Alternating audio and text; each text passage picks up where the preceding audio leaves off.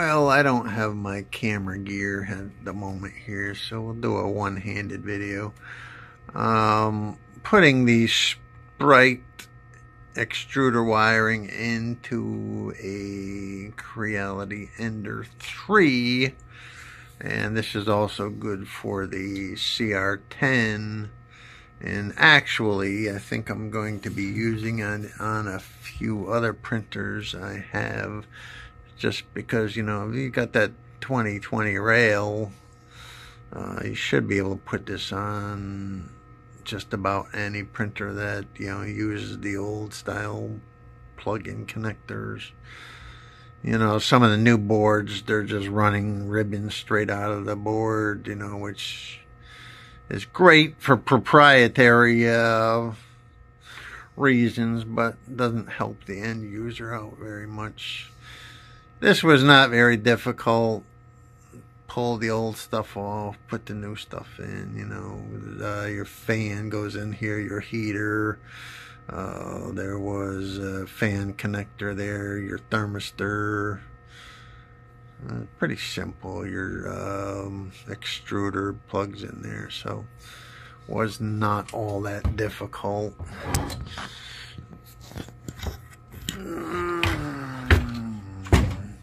This is what it looks like on the printer. I got to. Um, I gotta make my belt a little bit longer because I had this originally on a four wheel carriage, but I gotta I gotta just cut a new piece of belt for that.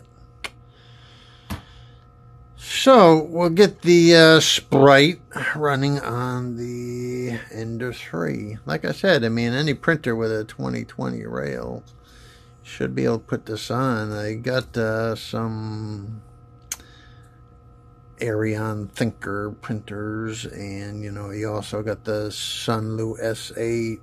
There's a few printers that uh, you can put this on. Maybe my Mingda D2. I gotta see see what that board looks like. There's definitely a possibility to get this running on many printers besides just the Ender CR10. So.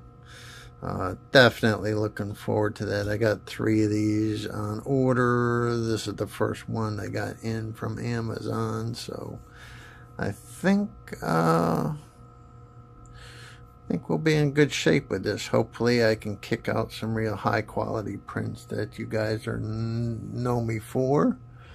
Uh, pretty simple mounting up here on four screws. I put some washers behind here not necessary, but I don't have auto leveling. Really don't like auto leveling. Um, but there is a bracket for that, and there is a wiring for that also in the cable. This fan, I know some people have changed out, but I'm going to try the stock fan for now. If I got any issues, I'll just uh, print up one of the upgraded larger fans, but we'll give this a shot first. You know, I always like to keep things as an out of the box experience.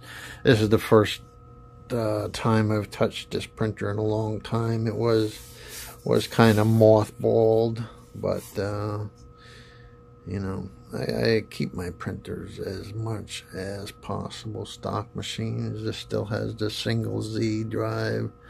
You know, it's it's old school. Take care. Happy printing. Not a commercial for a Sunkist soda. You know, don't don't kick my post out here. Let me let me block it out of the way. Uh, yeah, you know what I'm talking about. Take care. Happy printing.